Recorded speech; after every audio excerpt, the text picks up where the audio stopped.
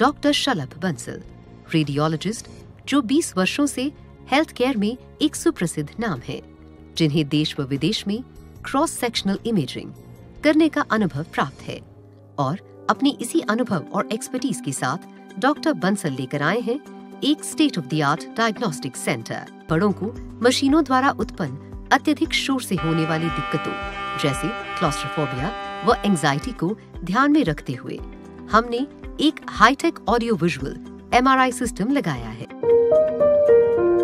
Tesla imaging and diagnostic centre Meerut के कंकड़खेड़ा थाना क्षेत्र में नगला ताशी व आसपास की 500 करोड़ रुपए की सरकारी भूमि कब्जा कर बेचने का मामला तूल पकड़ता नज़र आ रहा है। पूर्व आईपीएस व अधिकार आज़ाद सेना के राष्ट्रीय अध्यक्ष अमिताभ ठाकुर ने आज अभी तक भूमाफियाओं के खिलाफ सख्त कार्रवाई न होने पर मंडलायुक्त व पुलिस क्षेत्राधिकारी से मुलाकात कर आरोपियों से इसकी रिकवरी करने की मांग की। पुलिस व प्रशासनिक अफसरों से मिलने के बाद अमिताभ ठाकुर ने कहा कि इस प्रकरण में कई बड़े अफसरों की संलिप्तता निकलकर सामने आई है। आज मुलाकात के बाद भी अफसरों की हीला हवाली ही नज़र आई। इस मौके पर मीडिया से वार्ता करते हुए अमिताभ ठाकुर ने यह कहा।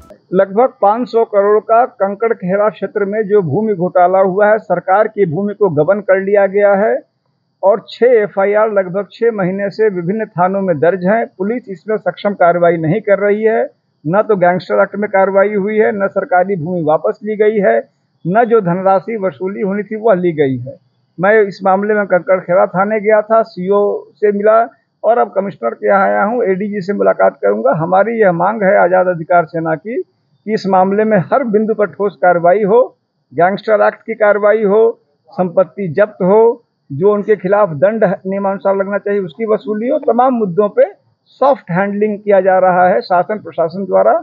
और इस बात के आरोप हैं कि अनुचित कारणों से इस प्रकार से किया जा रहा है। कमिश्नर के यहाँ जो बातचीत हुई है, उसमें मुख्य रूप से जो चार बिंदु हमने वहाँ प्रस्तुत किए हैं अपने पत्रक में, जिनमें कि धनराशि की वसूली का मामला है, सरकारी भूमि के अतिक्रमण को हटाने का मामला है, तहसील से रिकॉर्ड तत्काल भेजने का मामला है इनके संबंध में हमें आश्वस्त किया गया है कि अब बिल्कुल विलंब नहीं होगा। हम इस बात का इंतज़ार करेंगे कि शीघ्र कार्रवाई हो। अगर नहीं होता है तो इस संबंध में हम अग्रिम कार्रवाई करेंगे। इस खबर में फ़िलहाल इतना ही। आप देखते रहिए फ़र्स्ट बाइट डॉट नमस्कार।